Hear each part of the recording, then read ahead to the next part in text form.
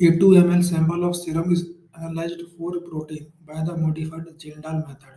The sample is digested and the resulting ammonia is distilled into